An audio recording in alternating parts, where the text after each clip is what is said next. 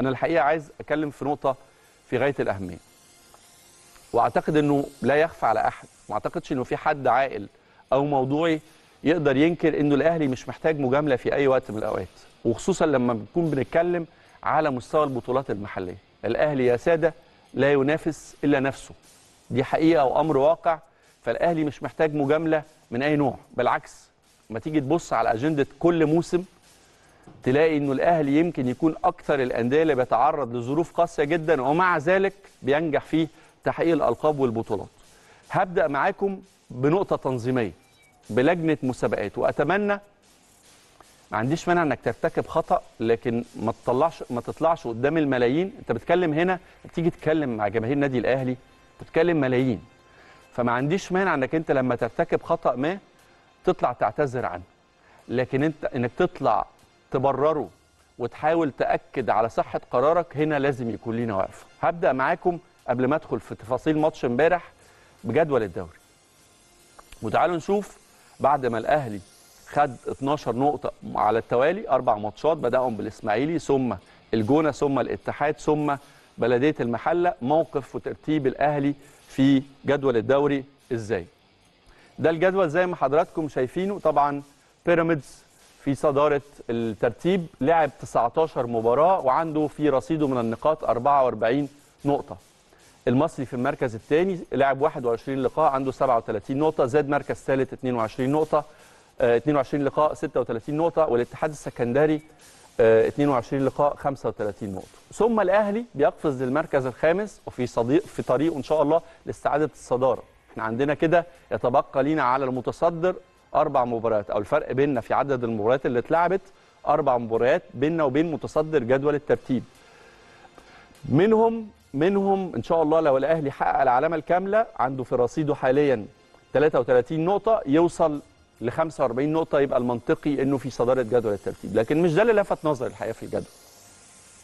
لفت نظري بما إنه المنافسة غالبا حسب ال ال المباريات المؤجلة هتكون بين الأهلي وبين بيراميدز وهو الاقرب ليه في عدد النقاط وممكن كمان الزمالك بما إنه واحد من أقل الفرق اللي لعبت مباريات في الدوري عنده 15 مباراة في رصيده 24 نقطة. فبالتالي بتتكلم عن إن المنافسة ممكن تكون بين الثلاثه دول. طيب خلينا نركز الأول مع الأهلي والزمالك. الأهلي في المركز الخامس والزمالك في المركز ال 13 الاثنين لعبوا حتى اللحظة اللي إحنا بنتكلم فيها مع حضراتكم دي 15 مباراة. تمام جدا. طب الاثنين واصلين لنهائي البطولتين الأفريقيتين يعني الأهلي هيلعب مع الترجي رايح جاي في نهائي دوري الأبطال والزمالك هيلعب النهارده ونتمنى له التوفيق طبعا مع نهضة بركان في بطولة نهائي بطولة الكونفدرالية. طب تعالوا نبص من أول الموسم كده عشان الناس اللي بتتكلم على مجاملة الأهلي وإنه الأهلي بيتأجل له ماتشات وإنه الأهلي ده بيساعده بيبقى عارف الموقف في الدوري الأهلي مش محتاج حد يجيب له النتيجة من الكنترول. تعالوا نشوف معلش في جدول الترتيب كده الزمالك والأهلي لعبوا بالتساوي بعد ما لعبنا ماتش البلدية امبارح وصلنا إحنا الاثنين إحنا متساويين في عدد المباريات. طب نشوف من بداية الموسم الأهلي شارك في كام بطولة ولعب في كام مباراة زيادة عن أقرب منافسيه في البطولة دي في بطولة الدوري. الأهلي لعب يا سادة في بداية الموسم مباراة نهائي السوبر الأفريقي بين بطل الدوري وبطل الكونفدرالية. ولعب ثلاث ماتشات في بطولة كأس العالم للأندية. ولعب أربع ماتشات ماتشات في ال Super League الإفريقي. ولعب خد بالك بقى من قصة الكأس السوبر لأنه لما استحدث كأس السوبر بقيت بتلعب البطولة دي من مباراتين مش من مباراة واحدة ولعب ماتشين في كانوا في السعودية أعتقد السوبر المصري في السعودية أو في الإمارات مش متذكر بصراحة لكن المباراه المباريات كانت بتلعب خارج مصر. فلعب ماتشين كمان في كأس السوبر. أين كان نادي الزمالك في الإمارات. تمام. كاس السوبر المصري كان في الإمارات كاس العالم كان في السعودية ال Super League رحنا تنزانيا ورحنا جنوب أفريقيا. أعتقد حتى اتحاد العاصمة كان برضو في السعودية. فكان في ماتشات تقريبا كلها سفر وماتشات دوري الأبطال حتى بالمناسبة يعني وإن كان وإن كنا نتساوى في عدد المباريات اللي اتلعبت ما بين دوري أبطال والكونفدراليه لكن الزمالك لعب أغلب ماتشاته هنا في مصر.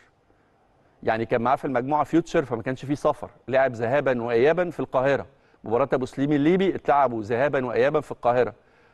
فالأهلي رغم رحلات السفر المتعددة سعودية مرة أولى وسعودية مرة ثانية وإمارات وكأس عالم كل المباريات دي بتتلعب وماتشات أفريقيا اللي سافر فيها في كل مراحلها. للخارج لعب نفس عدد ماتشات نادي الزمالك. أين كان نادي الزمالك من لجنة المسابقات؟ ولماذا أجلت كل هذه المباريات على أقل تقدير يعني كان المفترض إنه الزمالك يبقى قريب من بيراميدز. ليه اتاجلت للزمالك كل الماتشات دي؟ ليه ليه تساوى؟ السؤال بوضوح بوضوح شديد جدا ليه تساوى نادي الأهلي ونادي الزمالك اللي ابتدوا الموسم في نفس التوقيت مع بعض في نفس عدد المباريات؟ رغم إنه الأهلي لاعب 10 مباريات في بطولات قارية وعالمية خارج مصر زيادة عن نادي الزمالك. السؤال الثاني أنا مش خبير بتنظيم المسابقات أنا بطرح أسئلة الناس بتسألها الجمهور العادي بيسألها. هو ليه الزمالك لعب 15 مباراة زي النادي الأهلي؟ إيه السبب يعني؟ إيه اللي منع الزمالك من إنه يلعب عدد ماتشات أزيد؟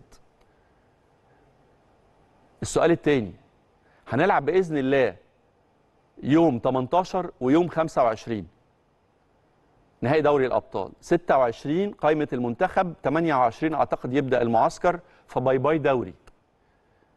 يعني bye bye دوري. من بعد بلدية المحلة وقف ملف الدوري. تمام؟ هتلعب مع بوركينا فاسو بعد كده غينيا بيساو يوم 6 ويوم 10 مظبوط التواريخ؟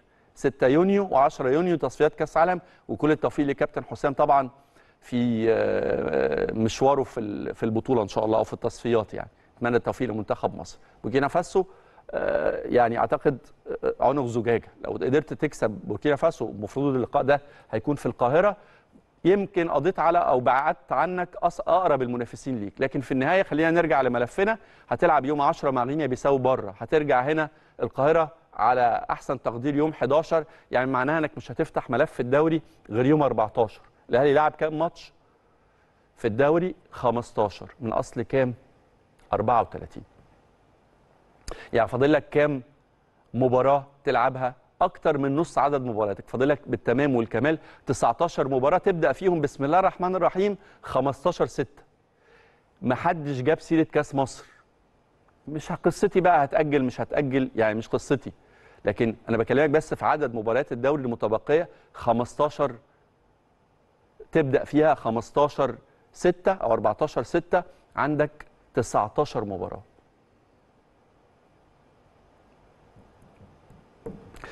نقطة من أول السطر. هل ممكن حد يجاوب؟ أت- أتمنى إنه حد يجاوب، أعتقد إن السؤال ده مفيش يعني من من كبيرهم لصغيرهم. كل المسؤولين على منظومة الكرة في مصر، إعلام رياضي، مسؤولين في اتحاد الكرة، رابطة الأندية، آه، عمال غرف خلع الملابس، القائمين على إدارة الملاعب، يعني كل المنظومة يا ريت حد يطلع علينا بإجابة للسؤال ده،